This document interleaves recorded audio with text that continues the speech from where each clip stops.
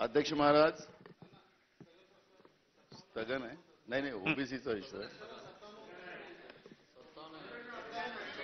सत्तावनचं notice दिलाय.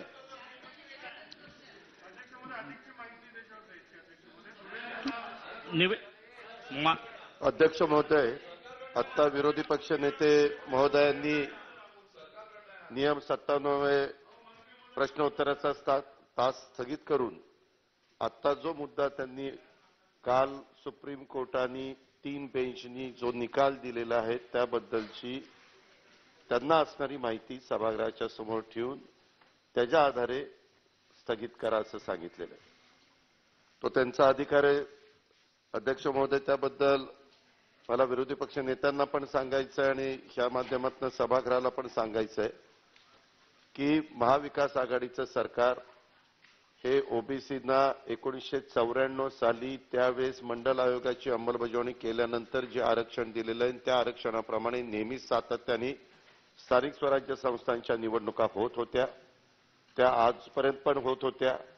परंतु कालच्या निकालामध्ये भंडारा गोंदिया अकोला वाशिम आणि नागपूर या पाच जिल्ह्यांच्या संदर्भातला तो निकाल दिलेला आहे. परंतु विरोधी पक्ष नेते असंही म्हणले की त्याचा परिणाम इतर पण जिल्ह्यावर होईल. ही पण बाब तपासून बघितली पाहिजे. माझी तर त्यांना विनंती आहे की आज शुक्रवारी पहिल्या आठवड्याचा शेवटचा दिवस आहे. अधिवेशन संपल्यानंतर त्या संदर्भामध्ये उद्या विरोधी पक्ष नेते इथं असतील तर आपण एकत्रपणे मुख्यमंत्री आपण सगळेजण एकत्र बसू. ऍडव्होकेट जनरलला बोलू. अजून काही वकिलांशी त्याच्या संदर्भातला सल्ला घेऊ. बाबा हे पाच बेंचच्या पुढं किंवा मोठ्या बेंचच्या पुढं नेऊन काही करता येईल का? ह्याच्यातनं काय मार्ग काढता येईल? ह्याच्यातनं जी अस्वस्थता आज सगळीकडे पसरलेले ओबीसी वर्गाचं प्रतिनिधित्व करत असणाऱ्या जिल्हा परिषद सदस्य आणि बाकीच्या सगळ्या सहकाऱ्यांना वाटतं की आमचं काय होणार? ही एक जी भीती त्यांच्या मनामध्ये निर्माण झालेली आहे. ह्या संदर्भामध्ये आपण आयोग त्याचा नेमायचा का? तो आयोग नेमून त्याचा त्याला किती काळ त्या ठिकाणी द्यायचा? या सगळ्या गोष्टीची अतिशय विस्तृतपणे चर्चा करण्याची सरकारची तयारी कालच स्वतः मुख्यमंत्री हा निकाल आल्यानंतर दिलीप वळसे पाटील साहेब मुख्यमंत्री आणि काही सन्मान्य मान्यवर त्या ठिकाणी बसलेले होते. आज सकाळी आज आम्ही पण काही लोकांनी एकनाथराव शिंदे मी बाकीच्या सगळ्या आम्ही सहकाऱ्यांनी या संदर्भातली चर्चा केलेली आहे.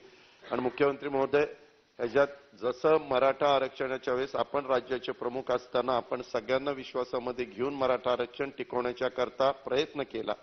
सभागृहांनी एकमताने त्याला मान्यता दिली. त्याच पद्धतीनं आपलं सभागृह चालू आहे. दोन्ही बाजूचे सगळे सन्मान्य सदस्य ह्याच मताचे आहेत. सरकारमधले पण लोक ह्याच मताचे आहेत. आपण पण त्याच मताचं आहे की हे आरक्षण त्या ठिकाणी टिकलं पाहिजे. ओबीसींच्या वर अन्याय होता कामा नये. आणि सुप्रीम कोर्टाने जे काही निकालामध्ये दिलेलं आहे त्याच्यात वेळ पडली तर दिल्लीचे वकील रोडकी असतील किंवा आणखीन कोण मान्यवर असतील त्यांच्याशी पण चर्चा करून ताबडतोब ह्याला काहीशी थांबवता येईल आणि ह्याच्यातनं मार्ग काढता येईल. आपण जसं सुचवलं करोनाचं संकट आहे. करोनाच्या संकटाचा आधार घेऊन काही आपल्याला त्याच्यातनं पुढे जाता येईल का? याबद्दल राज्य सरकारची भूमिका सकारात्मक आहे. माझी विनंती आहे की जरूर आपण त्या ठिकाणी बसू. आणि मार्ग काढू. परंतु आता नेहमीचा प्रश्न उत्तराचा तास सुरू करायला आपण परवानगी द्यावी अध्यक्ष महोदय आम्हाला आम्हाला या प्रश्नावर कुठेही हो, एक मिनिट जय- जयजी आम्हाला या प्रश्नावर कुठेही राजकारण करायचं नाही. हा ओबीसीचा प्रश्न आहे. दादा हा प्रश्न अजून महत्त्वाचा याकरता जयकुमार जे मांडायचा प्रयत्न करतायत. धुळे आणि नंदुरबारमध्ये आपल्या कायद्यात आपण असं म्हटलं होतं की जिथे पन्नास टक्के एस सी एस टीचं रिझर्वेशन झालं तिथे उरलेल्या पन्नास टक्क्यात सत्तावीस टक्के ओबीसीला मिळायचं. आता तेही स्ट्राईक डाऊन केलाय काल. त्यामुळे आता अशा ठिकाणी ओबीसीला एकही सीट मिळणार नाही. एकही सीट जिथे पेसा आहे किंवा जिथे पार्शली अध्यक्ष मोदे पेसा लागू आहे किंवा शेड्यूल्ड पार्शल एरिया आहेत अशा ठिकाणी अनेक ठिकाणी आता एकही सीट ओबीसीला राहणार नाही. त्यामुळे गंभीर प्रश्न आहे. आम्ही जरूर आपला साथ द्यायला तयार आहोत. आपण बैठक बोलवा.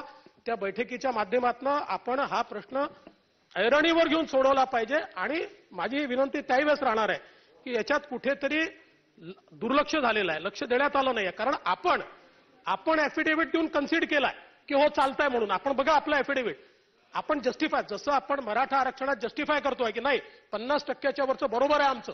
कारण आमच्याकडे अशी परिस्थिती आहे. तसं शेड्यूल एरियात तर आपलं वाचूच शकलं असतं. कारण इंदिरा सहानीचं जे जजमेंट आहे त्याच्यामध्ये शेड्यूल एरियामध्ये पन्नास टक्क्याच्यावर जाताच येतं.